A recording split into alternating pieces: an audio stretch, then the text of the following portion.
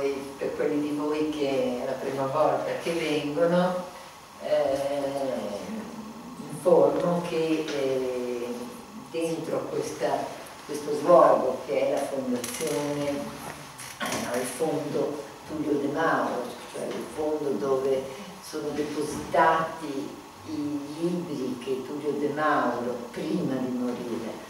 non nel suo testamento ma nella sua decisione in vita, aveva donato alla rete italiana di cultura popolare i libri eh, che, che della sua biblioteca personale, che hanno a che fare con eh, i dialetti prevalentemente italiani, ma non solo, ci sono anche cose in dialetto meno piuttosto poi non saprei esattamente dire, ma qualche altro. Eh,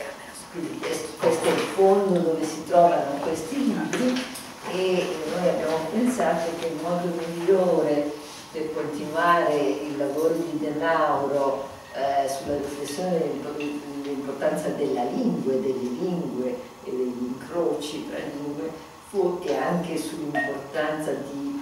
un uso appropriato eh, della lingua, non solo grammaticalmente ma concettualmente, eh, con, in cui le parole significano quello che devono significare, sono usate per quello che devono significare, di eh, fare degli incontri in cui persone che hanno per le loro strade riflettuto su su qualche parola qualche, o su qualche fenomeno rappresentato da una, da una particolare parola venissero a condividere con noi le loro riflessioni. Al momento queste sono le parole che sono state toccate con eh, eh, quelle che hanno la firma sotto sono quelle già trattate quelli che non hanno ancora la firma sotto sono quelli di prossima, di, compreso oggi, sfruttamento. Poi dopo questo vuol dire che quando, prima della fine di, questa, di, andare via questa sera voi due dovrete firmare sotto eh, la parola. Eh, tutti gli incontri sono registrati e quindi quelli che di voi volessero risentire questo o sentire quelli che non hanno potuto venire a sentire eh, le visite faccia a faccia possono andare sul sito della rete italiana di cultura popolare e trovano eh, la registrazione, quindi è anche un vocabolario orale che eh, viene eh, mantenuto. Stiamo discutendo se fare anche un piccolo vocabolario scritto, ma su questo c'è anche un minimo di controversia tra gli autori, tra i, i responsabili delle parole e, eh, e, noi. Qualche volta è un conflitto interno al popolo, cioè anche interno a me stesso. Comunque prima o poi ci si arriverà. Questa sera abbiamo una parola grossa, una parola che è tornata, e lo dico in modo un po' ironico, è tornata di moda, è, brutto dire di moda perché di solito le cose di moda sono buone, ma è tornato di moda, nel senso che è una parola in un certo senso finita del dimenticatoio, quasi non, ne, non si poteva dire, cioè almeno nel mondo occidentale ricco, sviluppato, sembrava che di sfruttamento non si potesse parlare più. No? C'è chi guadagna meno, chi guadagna di più, chi lavora di più, chi lavora di meno, però la parola sfruttamento è una parola pesante. Pesante che è qualcosa di più che dire di essere, che si è pagato un po' meno eh, del,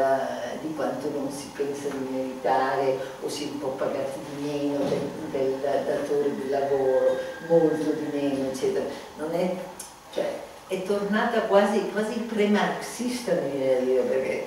Marx parlava di sfruttamento dicendo che si estraeva il valore da... Oggi la parola sfruttamento ci evoca più fortemente proprio questione di situazione di degrado, non solo di estrazione di plus valore, no? ma quasi condizioni di degrado non solo del lavoro ma anche del rapporto di lavoro e del lavoratore stesso che è oggetto di sfruttamento, tant'è vero che spesso le figure degli sfruttati coincidono anche con figure che anche per altri motivi sono, sono deboli o considerati comunque eh, meno dignitosi o meno, eh, meno aventi diritti di altri. Quindi è, è già un, oggetto di riflessione il fatto che ci troviamo nel 2017 in uno dei paesi che tutto sommato è considerato tra i più ricchi del mondo, no? facciamo parte del G7, e la parola sfruttamento è tornata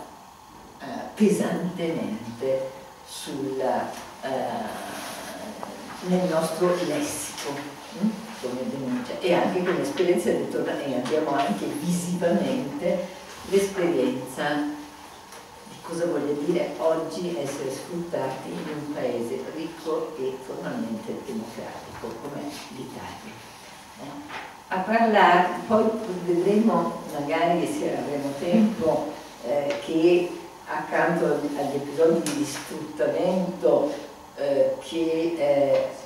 ci hanno spinto a organizzare questo incontro con questi nostri due ospiti eh, che hanno a che fare col caporalato, con eh, eh, ci sono anche probabilmente altri episodi, altri casi, esperienze di sfruttamento meno vistose, meno, eh, ma insomma il, il, il, il, lavoro gratis per esempio, non perché è volontario, ma perché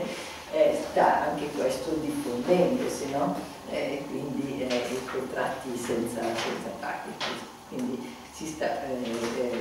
ci sono accanto agli episodi di cui parliamo, i fenomeni gravissimi di cui parliamo, ce ne sono altri che forse perché sono più frammentati e dispersi e sembrano riguardare individui separati gli uni dagli altri, non emergono così eh, fortemente eh, alla visibilità, come invece ancora quest'estate il fenomeno dei caporali, che poi emergono come fiammate quando succede una disgrazia, altrimenti poi eh, non ce ne si accorge. Allora, a parlare con noi, a riflettere con noi su questa durissima e pesantissima parola, eh, alla mia sinistra c'è Magda Schmuck, Schmuck, Schmuck, polacca credo di origine, di origine, ma cosmopolita nel senso che per lavoro, studio, è una giornalista, una filmmaker, gira e gira tutta l'Europa, quindi prima mi ha detto adesso per quest'anno sto a Amsterdam, domani poi chissà, quindi eh, eh, senza terra, o a molte terre, chi lo sa, che eh, come giornalista e filmmaker eh, è stata una delle prime a mettere eh, a fuoco anche a livello internazionale il fenomeno del caporalato in Italia. E per questo suo capacità ed esperienza ha collaborato con Alessandro Lagrande eh, che è autore del libro Uomini e Caporali sul caporalato in Puglia. Alla sua sinistra c'è Alaghi, Alaghi, Alaghi, Alaghi Tim Kang, eh, che è eh, originario del Gambia ma attualmente abita a Torino perché è ricercatore presso lo IUC, che è l'Università Internazionale eh, prevalentemente dedicata al diritto, al diritto internazionale qui a Torino, eh, che mh, ha avuto anche esperienza di caporalato, cioè, quindi è un testimone, un, un testimone in senso che l'ha visto, ma ne è stato oggetto e poi ne è diventato soggetto, quindi eh, non solo vittima ma eh, anche denunciatore studioso. Va bene, eh, chi comincia a parlare? Posso dire una cosa? Sì. Ringrazio per la bellissima introduzione che mi ha fatto infatti pensare mh, quando lei ha detto che la parola sfruttamento tornata di nuovo nel nostro dizionario quotidiano. Um, ho pensato che io sono la testimone um, delle storie che invece, invece richiamano ancora un'altra parola, sempre con esse, che, che, usavamo, che non pensavamo, penso neanche che ritorna a essere citata nei, nei media e nelle nostre conversazioni quotidiane, la schiavitù. Ehm, io faccio solo l'introduzione, passo la parola eh, e poi ritorno a raccontare le storie, penso mh, mm, perché sono giornalista polacca e ho vissuto qua in Italia a Milano dal 2000 al 2008 e, e nel 2006 sono andata semplicemente in Puglia per una vacanza e, e stavo in fila per vedere le grotte di Castellana Grotte, grotte e il mio ragazzo mi ha fatto passare un giornale quotidiano locale dove ho visto un'intervista con il console onorario polacco di là, Domenico Centrone, che diceva che lui non può più aiutare a tutti questi polacchi che vengono al suo ufficio a chiedere aiuto perché si trovano nelle condizioni disumane mh, lavorando nei campi di pomodoro. E io l'ho chiamato il giorno dopo, lui non rispondeva e mi ha richiamato al pomeriggio e mi ha detto ma lei signora mi chiama nel momento che non può, può neanche aspettare in bene per un stamattina all'alba c'era un blitz in uno di questi campi di lavoro e adesso nel mio ufficio ci sono tipo 50 persone che, che, la, che la polizia ha liberato da, da, questo spazio che era con filo eh, spinato, con, eh, chiuso e è diventato per loro una, una prigione, un campo di lavoro con le figure di un capo e, ehm, e quindi io avevo questa incredibile opportunità di, di ascoltare le storie direttamente eh, delle persone appena liberate da, da, da, questi, da questi, campi. E, ehm, e, sì, e così ho anche incontrato Alessandro Leo Grande perché lui era uno dei pochi giornalisti italiani che effettivamente è venuto là in Puglia, essendo anche di origine pugliese, a raccogliere queste storie per poter scrivere un libro. Eh, non tante di queste storie, sono veramente storie tristi, tristi. Eh, alcune di quali hanno delle happy end, come genitori che cercavano il proprio figlio che è sparito in Italia per, per lavoro con cui voleva guadagnare i soldi il matrimonio e che lo cercavano per due anni, che non avevano la notizia da lui da due anni e, ehm, e noi andavamo lungo e largo tutta Puglia e tutta Calabria e l'abbiamo trovato alla fine. Eh, ma ci sono anche le storie di una mamma che è venuta a, a confermare che il corpo del ragazzo morto che hanno trovato là è il suo figlio e che non è riuscito mai a portare in Polonia per fargli un funerale. Eh, e ci sono anche le storie bellissime italiane delle, delle, degli italiani che, che sono coinvolti a, a, queste vite dei polacchi. Quindi io penso di passare la, la, la parola a, a, te, che anche tu hai un'esperienza personale. Eh, e poi io, quando rimane il tempo, eh, racconto questo che io ho vissuto. Grazie. Eh, buongiorno, buonasera a tutti. Eh, ancora io mi chiamo Alagi, eh, mi, op, mi, occupo di, della la mia tesi è lo sfruttamento nella schiavitù contemporanea, cioè lo sfruttamento dai migranti in agricoltura io evito maggior parte di usare la parola migrante che ormai adesso vuol dire quelli esclusi della comunità italiana o europeo. E lo sfruttamento io quello che ho vissuto nei prigioni italiani che dico perché sistema di asilo che, che abbandona le persone, le persone in campi che non, non vedono altre realtà, non hanno chance, non hanno opportunità, sono secondo me dove iniziare il discorso della schiavitù contemporanea, come diceva lei, è venuta in moda. E non è soltanto che è venuta in moda su, su come svolge, ma anche è venuta in moda nella giurisprudenza, dove la definizione di sfruttamento eh, contiene dei elementi impalpabili. E questo risulta anche la impunità di, dei, dei, dei, dei, criminali, la mafia che gestisce l'agricoltura italiana. E quindi la, lo sfruttamento secondo me lavorativo, quello che io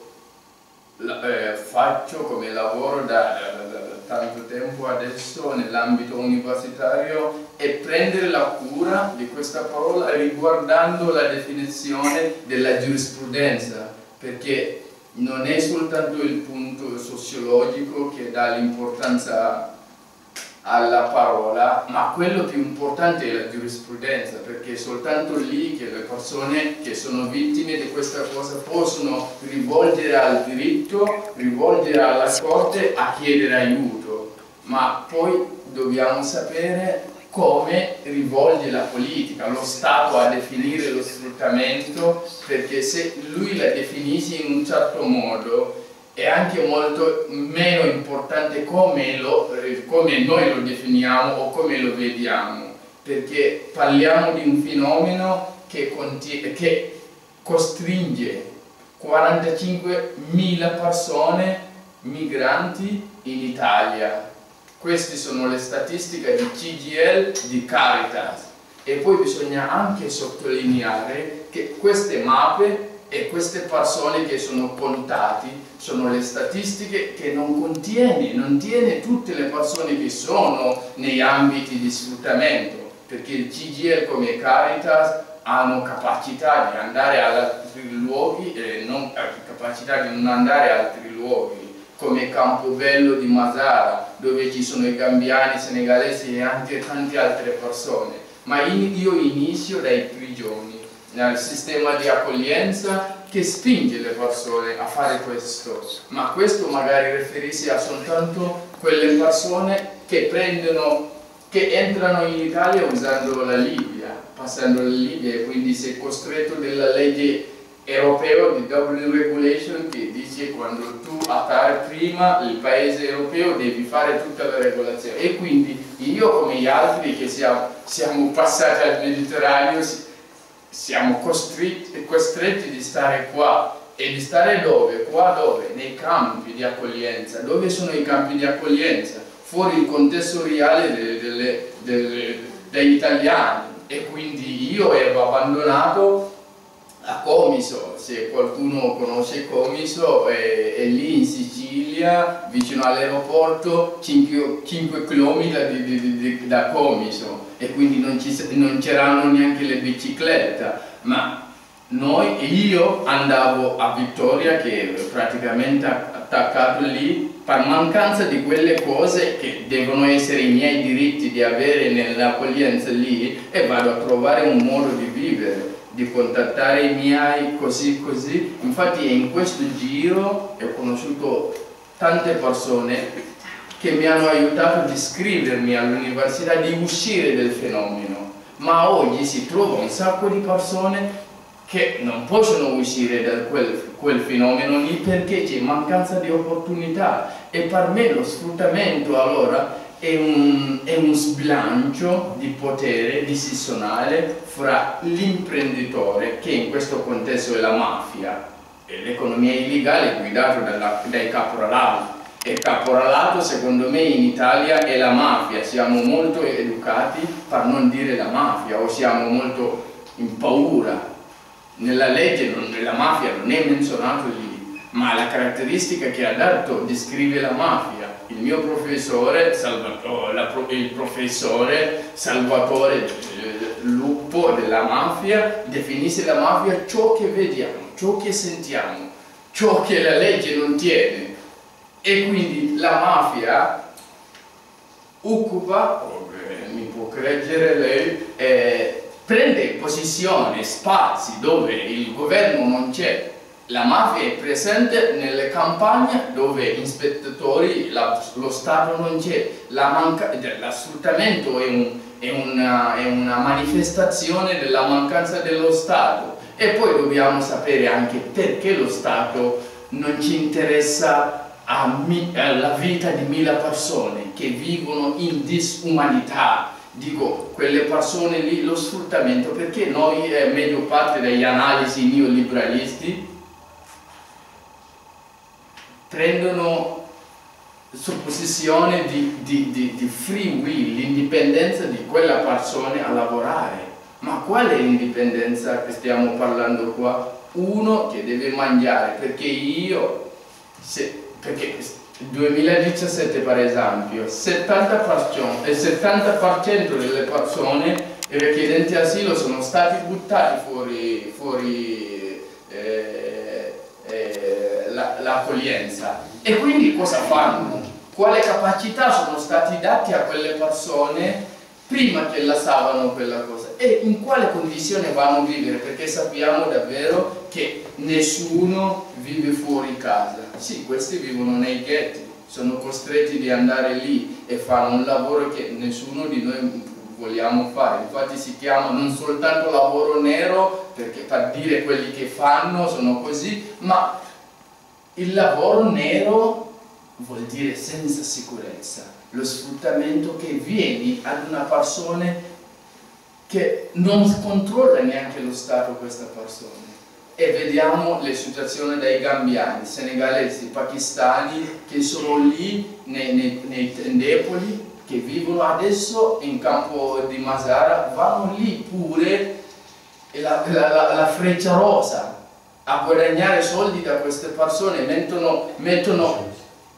la, croce rosa, scusate la Croce Rosa, se sono privati o no, io li ho visti in Campobello di Masara dove si mettono accanto questi ghetti e anche loro offrono i tendepoli a 4 euro a notte. Questo è witch hunting. Witch hunting nel senso una immoralità capitalista che anche da un povero lì che sta lì non lo so cosa fa perché non guadagnano niente ma sono costretti di vivere lì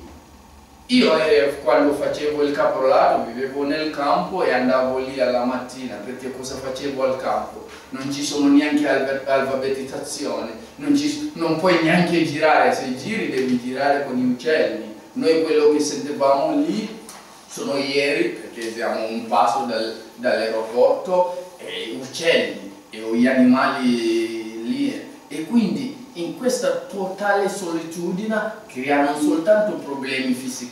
fis, ma anche quello più importante mentale, che io o tante altre persone no,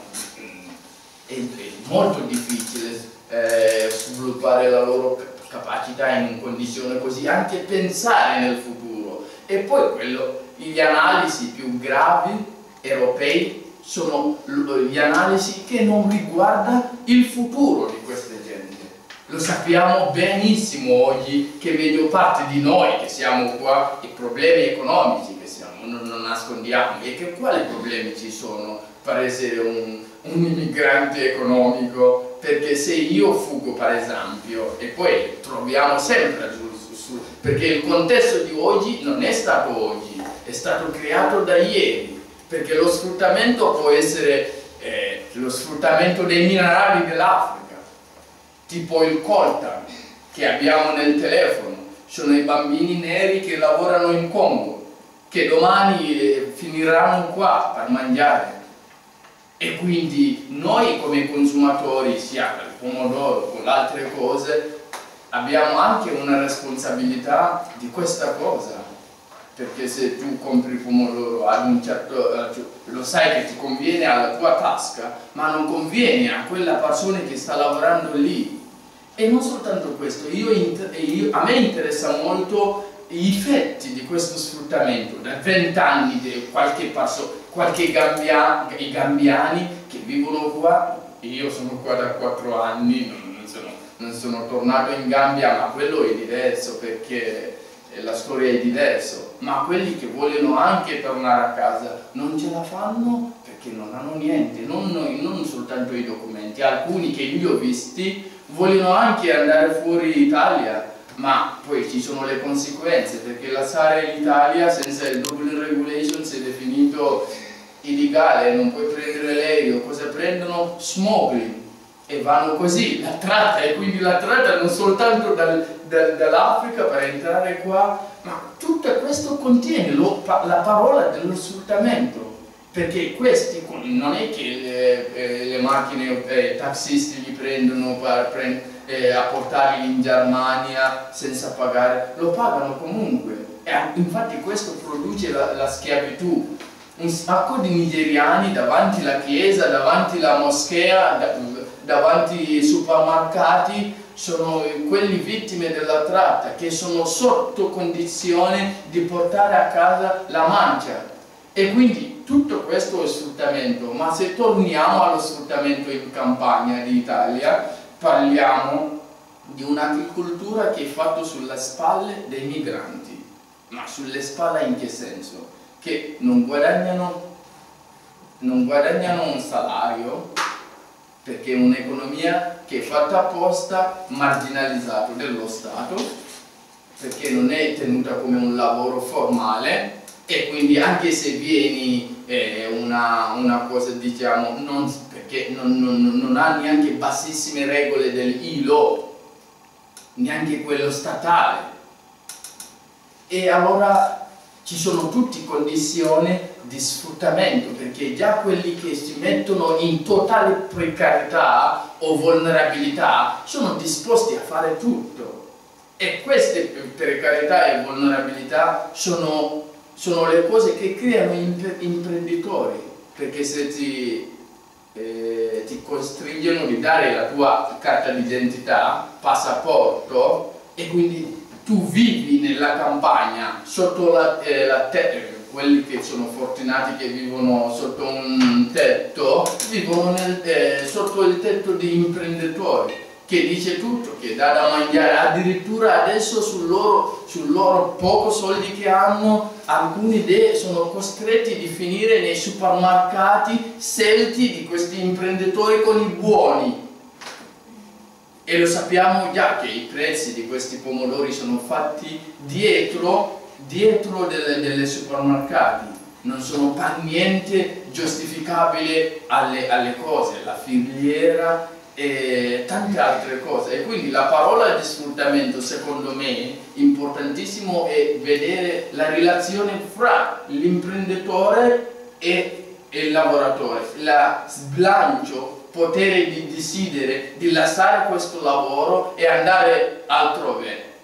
Ma questo è anche molto ambizioso perché io posso lasciare quel lavoro lì soltanto quando ho un'opportunità reale, un'alternativa reale. E per quello noi conviene dire ma possono lasciare quel lavoro lì? Perché tu hai un'altra opportunità dove puoi andare, io ho un'altra opportunità dove andare. E mancanza di questo crea un, una situazione di sfruttamento addirittura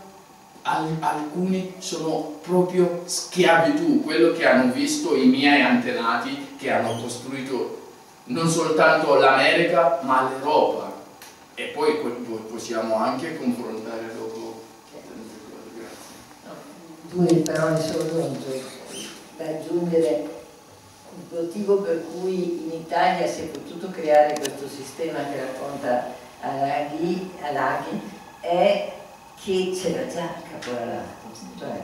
il sistema del caporalato sta sfruttando la, il, le condizioni migratorie del sistema dell'accoglienza italiano, ma è nato prima, cioè è nato prima soprattutto nelle zone meridionali, forse nel, nel, nord si sta sviluppando sfruttando la migrazione, perché non è una cosa che riguarda solo il sud, eh? perché quindi non è solo la mafia.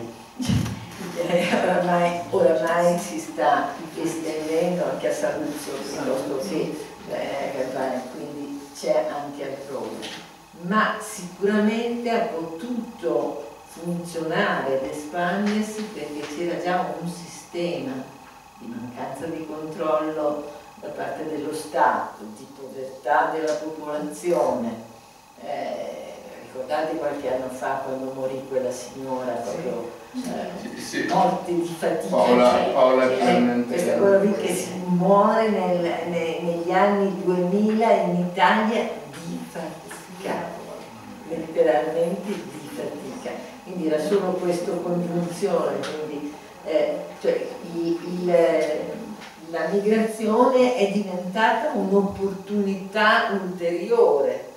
eh, per cui non sono scomparsi gli italiani che sono costretti a fare questo, però forse meno italiani sono disponibili a fare questo e eh, sono subentrati a un prezzo ulteriormente inferiore eh, i migranti messi in condizione di non avere alternative. Adesso però sentiamo Magda eh, se ha qualche cosa da aggiungere. Quindi, e non solo neri, perché Magda è partita dai polacchi. Infatti, perché c'è, questo sviluppo no? eh, che vediamo, se parliamo dell'Italia solo, che um, prima erano italiani che lavoravano là nel sud, eh, ehm, anche nello sistema di capolarato, quindi del capo, che in qualche senso è uno che gestisce un gruppo di lavoratori che è un tramite eh, con il proprietario terriero e quindi mh, poi loro sono stati sostituiti con il tempo dai albanesi, ai romeni, poi l'Africa del, del nord, poi più, più in terra, per poi arrivare anche all'Europa dell'Est. E questo era il momento in cui io infatti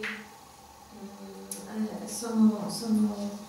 sono, mi sono trovata in Puglia, era il 2006, quindi appena due anni in cui Bologna con altri, altri paesi eh, non comunitari, così, chiamati così, è entrata in Unione Europea. Eh, penso che proprio questo fatto ha, ha, ha causato tutto questo clamore, tutta questa questo giro delle notizie lungo l'Italia ma anche lungo l'Europa e poi anche fuori. Ehm, perché mh, mm, in confronto a, a, a, altre nazionalità, dietro i polacchi c'erano certe istituzioni che facevano parte della rete europea. Quindi i polacchi che sono andati a chiedere o a denunciare al console onorario poi ha denunciato l'ambasciata polacca a Roma, l'ambasciata ha denunciato al magistrato a Foggia, eh, la Foggia ha avvisato la procuratura in Polonia e così si è creata una rete in qualche senso legale della protezione di, di, queste, di questi lavoratori che non riguarda eh, altri, altri, paesi altri, altri cittadini. Ehm, eh, quello che io stavo pensando mentre lei parlava, mm, mm, mi è sfuggito, però magari mi ritorna. Eh, mm, parlavo dell'estrema, dell'estrema forma del, dello sfruttamento, infatti la schiavitù. E quando tu hai parlato di questi buoni di supermercati, ho sorriso perché è venuto con un fulmine il mio viaggio in America del Sud che ho fatto un paio di anni fa, dove ho visitato mh, mm, le, le, le, città cosiddette mh, mm, città fantasme. Erano le città, ex città delle, dei minatori che si trovavano nel, nel vasto terreno del, del deserto Atacama. E, ehm, e visto che il deserto conserva benissimo tutto questo che è stato abbandonato perché quando le risorse sono finite le, le miniere con le città e quindi i lavoratori, i proprietari si spostavano in altri posti e queste città rimanevano fino, a, rimangono fino adesso praticamente intatte. Pinochet le ha usate per fare le prigioni e adesso sono musei. alcune sono ancora abbandonate là, ma proprio era lo stesso sistema se ci pensiamo che inglesi o tedeschi venivano in Cile avendo il capitale per poter investire nelle miniere, eh, assumeva, assuma, assumavano i, i, sì, i, la gente de, del luogo, dandogli posto per, per dormire e pagandoli con i buoni che alla fine erano da comprare il cibo, le cose nei loro stessi negozi, quindi tutto tornava sempre a loro. Eh, e quindi quello che io non sapevo dei buoni, però quello che succedeva con i polacchi era invece un altro sistema che mm, eh, cominciava ancora in Polonia, perché mm, la maggior parte dei uomini che io ho incontrato erano del sud della Polonia dove c'erano le miniere. erano le miniere che venivano chiuse perché non erano più economiche e quindi loro ricevevano un certo compenso, ricompensa eh, con questi soldi pensavano di poter andare altrove a, a guadagnare perché avevano ancora uomini di 50 anni, eh, avendo le famiglie ancora da, da mantenere. Eh, e nei annunci che sono apparsi in quel periodo in Polonia eh, promettevano loro un lavoro ai campi di raccolta a un certo tot di soldi per ora, un trasporto e alloggio. E loro, dopo aver pagato e spesso anche chiedendo soldi di fare un credito, andavano a sud dell'Italia, dopo un lungo viaggio nel pullman, arrivavano nei nel mezzo terra sperduto dove non c'era niente, solo le vecchie eh, sì, le vecchie cascine, sì. Le vecchie cascine, case rurali, sì, e molto spesso stavano nelle stalle di animali con, con materassi buttati per terra e il giorno dopo dove, venivano portati ai campi per raccogliere pomodoro, carciofi, dipende dalla stagione con una promessa di, di, di un guadagno all'ora sempre diminuito da quello che era nell'annuncio, che però quando chiedevano questi soldi per una settimana, due o un mese, gli veniva comunicato che loro comunque hanno un debito verso questi che li hanno assunti, eh, quindi debito per alloggio, debito per trasporto ogni giorno per il lavoro, per l'acqua che riportavano al campo e eventualmente qualcosa da mangiare, perché loro non venivano mai rilasciati a fare la spesa nel paese perché il paese era lontanissimo, quindi li portavano da mangiare sul campo. Quindi questo che loro avevano come debito in, quel momento, qualche momento superava questo che loro stessi stavano guadagnando. Quindi loro rimanevano là nel posto con la speranza che un giorno riesco finalmente a chiudere questo debito e ricominciare a guadagnare. Quindi anche un circolo chiuso eh, senza uscita, oltre a questo che loro erano convinti che dando a disposizione il passaporto, un documento di identità ai propri capo, loro non hanno più la possibilità di tornare in Polonia. Poi, come ha avvisato prima, molto spesso loro rimanevano nei spazi chiusi, forzati, e quindi anche non solo la distanza eh, per andare al paese, ma anche fisicamente la impossibilità di uscire eh, da, dal, dal, posto, si bloccava. E poi ehm, quando ho cominciato un po' a stare di più con questi uomini mi hanno cominciato a raccontare le cose spaventose perché mi, mi chiedo ma perché comunque voi non siete scappati, no? Comunque non, non è che vi hanno rinchiusi in un posto eh, sottoterra senza via di uscita e loro hanno detto che, che, questi uomini avevano anche le armi, quindi e la, la dimostravano. E ogni mattina loro si dovevano presentare in riga e fare 1, 2, 3, 4, 5, 6, eh, come, sì, come nell'esercito o come nel campo di lavoro effettivamente. Mm, e quelli che erano in ritardo, quelli che non dovevano, volevano andare un giorno a lavoro semplicemente si ribellavano, venivano puniti. Eh una delle storie che mi hanno raccontato che mi ha fatto veramente impressione era quella di trascinare un uomo sul filo attaccato alla macchina per non so quanti metri per dimostrarti gli altri che non si, non qui non si scherza con, con, con loro. E, e, e, le mie prime storie che io raccontavo erano, erano queste su uomini che comunque hanno sopravvissuto perché sono stati liberati o sono scappati, ma poi dopo um,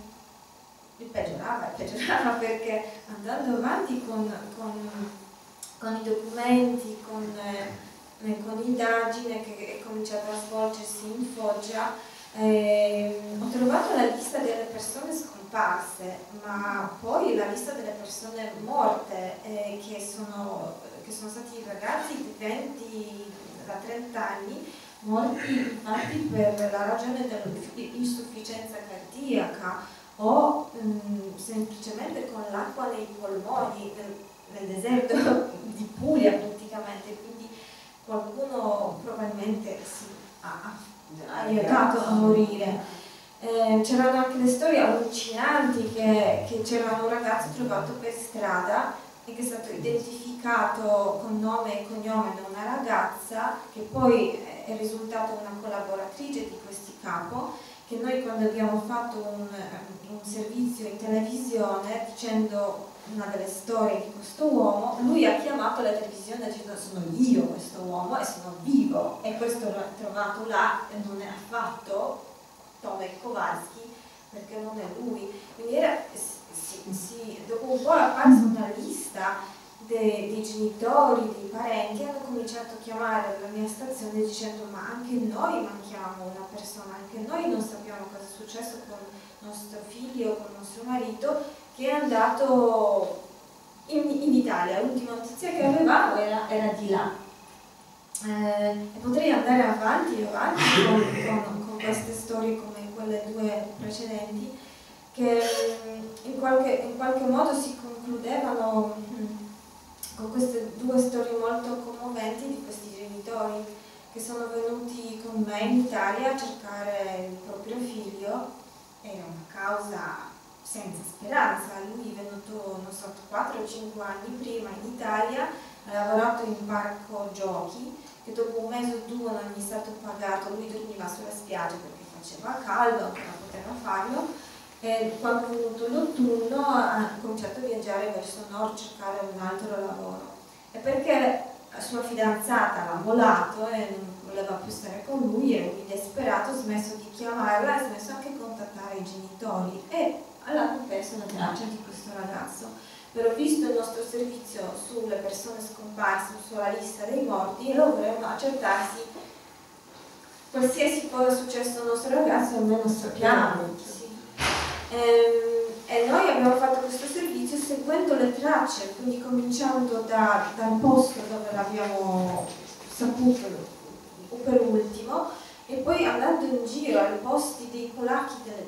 come lui e c'erano tantissimi palazzi abbandonati, occupati da, da stranieri dove loro abitavano e, ciascuno di loro visto la sua foto ci diceva sì l'ho visto un mese fa là, andavamo a Caritas dove davano da mangiare, sì l'avevo visto due settimane fa là e andavamo a un altro centro di accoglienza per gli stranieri, poi a un altro mm, campo di lavoro dei romeni. Ecco, ogni volta che andavamo in un posto sembrava che siamo sempre più vicini a, a lui perché un giorno fa qualcuno l'ha visto alla stazione cioè, dei treni a Napoli ma nel frattempo io pensavo che i polacchi effettivamente si sempre aggregano alle chiese, alle parrocchie eh, e, e, ai negozi con il cibo polacco e quindi lasciavo questi annunci con la sua foto, col telefono. Questa mamma era disperata, lei era anche disposta ad andare al, magistrato e, e vedere mh, mm, quattro foto di ragazzi morti per accertarsi che non è, non è lui. Ehm, dopodiché il giorno in cui avevamo l'aereo per tornare in Polonia, veramente è successa questa cosa, lui mi ha chiamato. Lui ha trovato annuncio nel negozio con sua propria foto e con richiesta da mamma per favore fatti sentire. E lui ci ha chiamato e, ha detto sono là, vicino a Napoli, e, ehm, e i genitori sono andati a correre a incontrarlo. E lui ci ha raccontato infatti questa storia perché è scomparso, perché non aveva più coraggio di richiamare, di richiamare, si, si, si vergognava. E maggior parte infatti della, della vergogna eh, è il motivo per cui loro non tornano più a casa. Loro si, si sentono uomini falliti eh, che hanno perso sì, eh, non solo i soldi propri ma quelli che hanno prestato e uno mi ha detto una cosa fortissima che lui non ha coraggio di guardare il proprio figlio negli occhi perché non si sentirà un uomo davanti a, a un suo figlio e quindi anche questo il concetto di essere sfruttato in modo mentale, psicologico è un altro aspetto della parola. Mm, ci sono, questa è una storia con, con Bella Figlia, ma ci sono anche queste, come dicevo prima, della mamma che, che ha saputo del, del, figlio morto, infatti, che è andato a raccogliere i soldi per il matrimonio perché si è fidanzato. E, ehm, e dopo pochissimo, solo pochi mesi, lui, lei ha ricevuto la notizia che lui è morto dell'attacco cardiaco questa inefficienza cardiaca. Lei non voleva credere, è venuta con me in Italia, mm, siamo andati al cimitero dove lui è stato sepolto, lei ha fatto riesumare la sua salva, salva e hanno fatto accettazioni di DNA e hanno confermato che lui, eh, per portarlo in Polonia con tutte queste regole di sicurezza, mh, mm, costava tantissimo e sì, lei non si poteva permettere era molto credente e non voleva fare la cremazione, sì. quindi lui è rimasto in Italia. Però io, grazie a questa storia, sono arrivata a tantissime altre tombe che avevano nome sconosciuto e qualcuno lo indicava infatti un polacco perché parlava polacco, qualcuno lo conosceva ma non si, capiva, non si sapeva i loro nomi. E così ho conosciuto una, una, una signora anziana che ha adottato una tomba polacca. Che lei portava i fiori, le candele, lo puliva, ha fatto il monumento di marmo. E io l'ho chiesto ma perché lo fa? E, e lei ha detto perché mio marito e mio figlio sono nati al nord dell'Europa a lavorare nelle miniere. E qui si chiude il circolo eh, e non sono mai tornati. E io spero che qualcuno anche porta i fiori e, e, e le candele sì, a, loro nome. E quindi sì. No, è molto emozionante quello che ma volevo lasciarvi magari se c'era qualche domanda, qualche curiosità. Mi permetto solo di, tirando le fila di questa parola, sfruttamento, sono state messe in luce un concetto fondamentale. È innanzitutto una enorme sproporzione di potere, un'enorme sproporzione di potere, cioè lo sfruttamento di cui stiamo parlando qui oggi non è, è più grave dello sfruttamento di cui parlava Max, perché eh, la situazione è, cioè la mancanza totale di alternative e nel caso eh, nel caso di quella signora di cui dimentico sempre il nome italiano, oh, fatica, era chiaramente mancanza di alternative, cioè era l'unico lavoro che c'era. Nei casi dei polacchi, gambiani, segalesi, senegalesi che hanno raccontato qui questa sera è ancora qualcosa di più, perché è anche la privazione totale della libertà. E l'isolamento cioè, assomiglia moltissimo, ed è tremendo dirlo, ai campi di concentramento nazisti. Anche se formalmente, addirittura con le minacce fisiche sulla, sulla cosa, no? Quindi eh, un, in questo senso, è, mentre quello di quella signora è al limite del concetto marxiano di sfruttamento, qui siamo oltre, è quasi più vicino alla schiavitù che allo sfruttamento, eh, perché è fondato innanzitutto su una privazione della libertà come privazione sia di tu ti isoli in un posto senza che tu possa andare da nessun'altra parte perché non hai i mezzi e addirittura ti minacci se tu cerchi di, liberarti. Questo eh, credo che sia una cosa che ci deve far riflettere perché stiamo parlando dell'Italia del 2010. E anche lei, scusate se vorrei raggiungere questo, perché il fenomeno riguarda, come ha detto, dei gradi. italiani lavorano sotto le stesse condizioni più o meno, ma ce l'hanno un tetto dove vivere e tantissimi italiani tornano, tutti italiani che lavorano lì non vivono in Chieti, almeno dove vado io, e quindi tornano a casa, hanno acqua potabile, magari possono mangiare o a casa o dagli amici e addirittura sono pagati dietro i campi, dietro i campi. E quindi non è che pagano italiani e altri lì davanti tutti, no, lo, lo dico, la mia prof, la mia prof a, a, a, a Palermo ha fatto il caporalato, ha l'esperienza, ma era caporalato più vecchio di quello. E io non dico che il caporalato è iniziato con i migranti, Già stamattina stavo dicendo da professor Lupo che ha studiato la mafia tantissimo, infatti è stato onorato con il, il premio nazionale per uno che ha scritto molto sul, sulla mafia,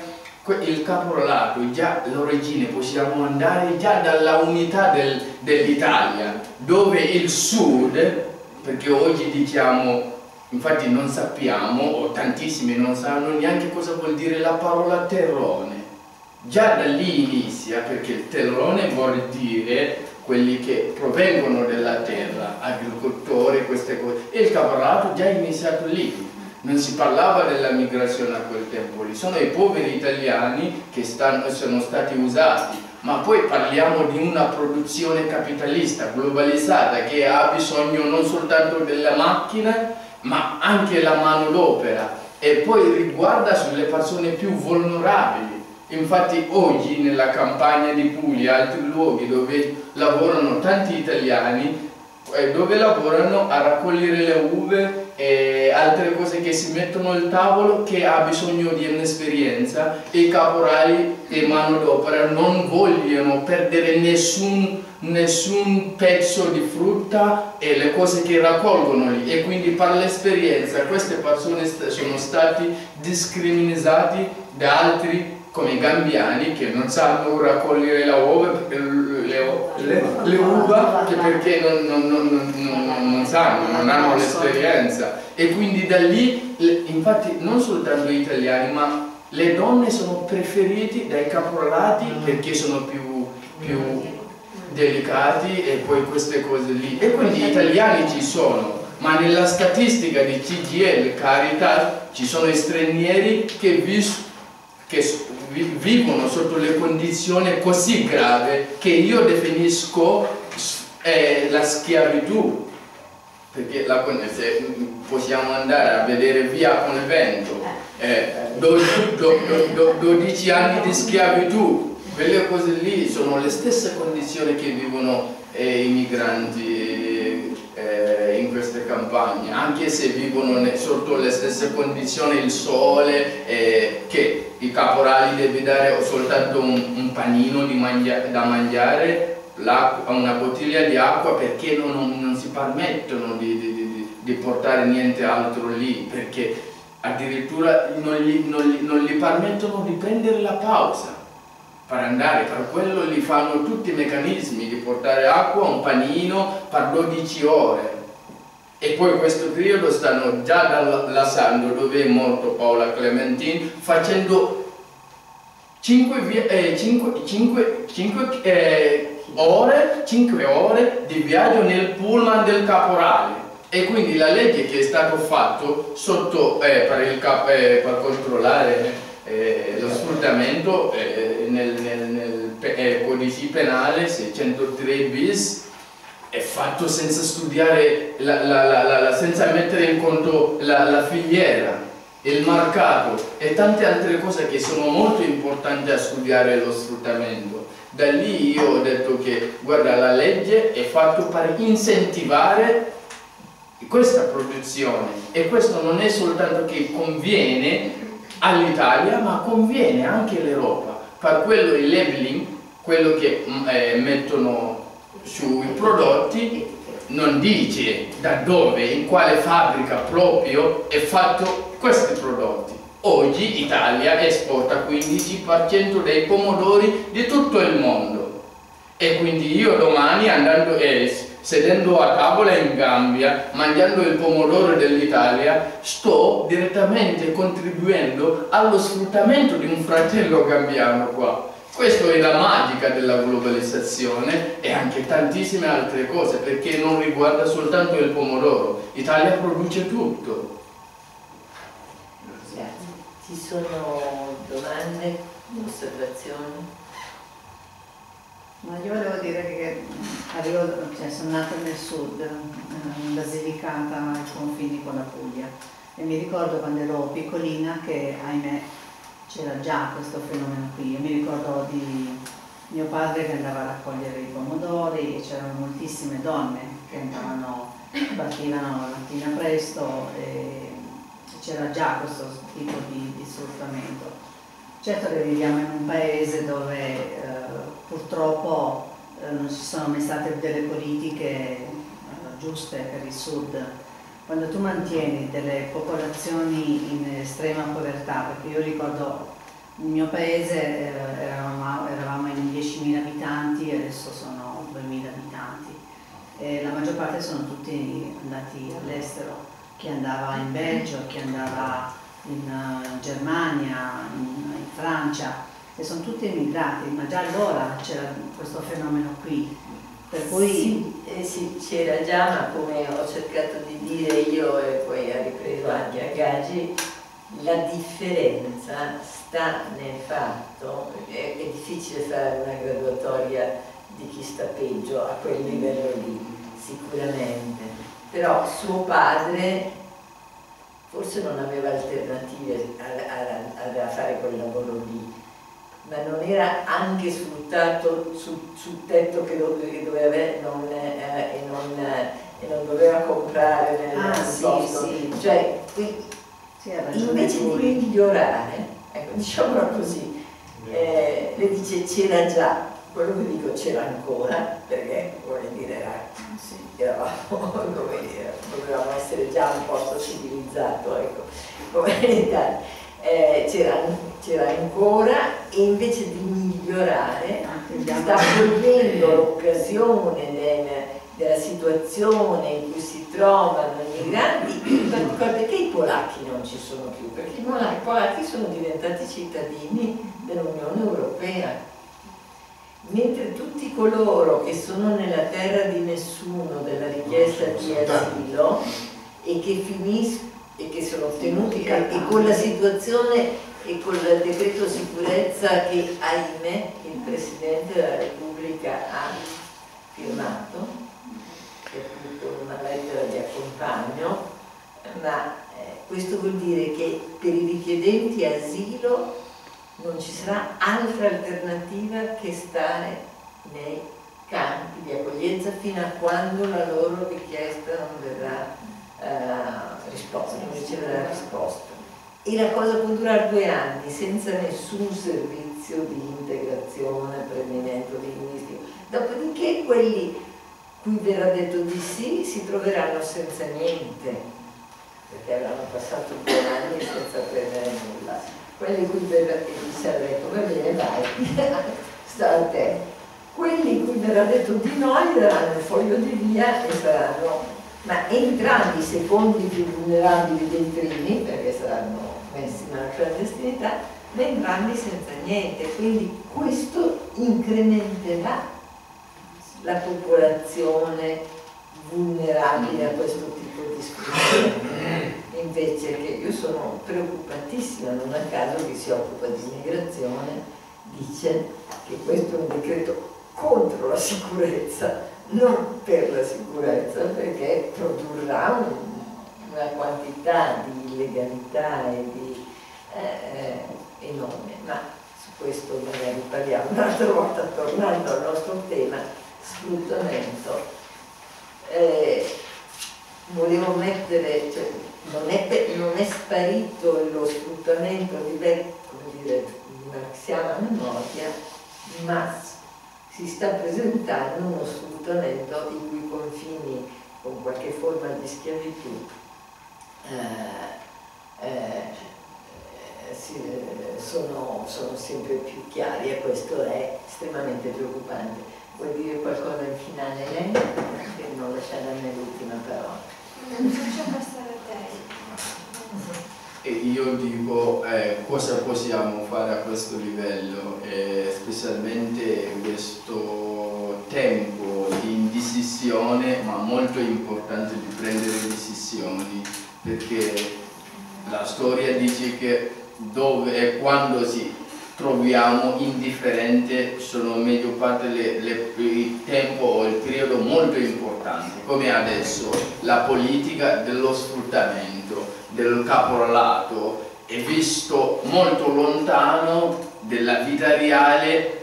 degli italiani, meglio parte degli italiani, non dico soltanto perché già si vede nella statistica di CGL, di, di, di, di, Caritas e di tante altre, come viene detto sulla media, nei giornali dove dove si vede queste cose, e ma noi dobbiamo sapere che per raccontare questa storia o per fermare, anzi fermare questa cosa, noi come cittadini, consumatori individui, dobbiamo almeno prendere qualche responsabilità di sapere che noi siamo quello che mangiamo e quindi se mangiamo sporchezza non vuol dire con, con comprare qualcosa lì nel mercato perché sta, sta, per, eh, sta per, non lo so, non è più utilizzabile. La sporchezza per me è anche una parola dello sfruttamento perché se tu mangi soltanto il mio sudore consapevole che tu hai altre cose che puoi fare, questa indecisione va uccidere un sacco di persone e l'analisi che è ancora più importante è cosa, cosa produrrà questo sfruttamento alla generazione gambiani, polacchi, altri del mondo che continueranno a venire perché, a cercare, perché lo sfruttamento già è iniziato lì che è il risultato del, di questa migrazione forzata.